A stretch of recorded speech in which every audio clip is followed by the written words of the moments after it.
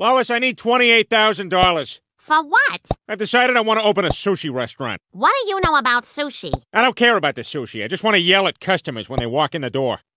Irashaimase! Hajime! You stupid